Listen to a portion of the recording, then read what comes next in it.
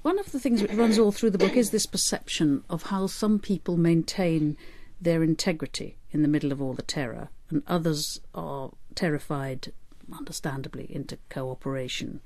Um, I mean, there's an incident in the labour camp where you're very young watching this. You must can't have been more than nine or nine or ten, where some inmates are forced to execute, to hang other inmates. Just tell us of that moment, because that seems to be very important to your whole later life. Mm-hmm.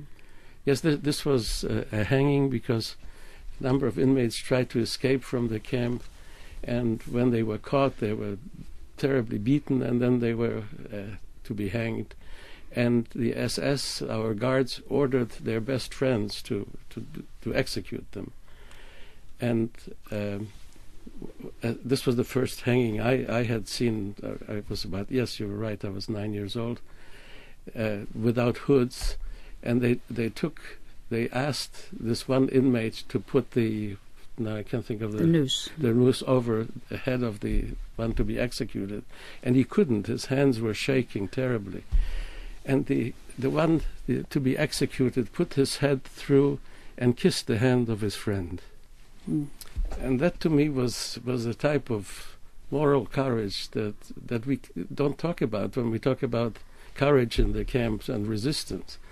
Uh, this affected me very much and made me think that that we are missing the humanity and the the moral courage that these people exhibit. Do, do you have any memory of how the guards reacted? When this thing happened. Yes, the the uh, SS man who was in charge was he had lost. It was sort of as if he had been deprived of the pleasure to execute the fellow. He just kicked the chair out from under him. Mm. In order to, uh, yeah. you could see it. I, I he, he and, was angry at the humanity, right? The and we rejoiced. I mean, this yeah. is. I, I remember thinking, ah, he didn't get what he wanted to do. Yeah.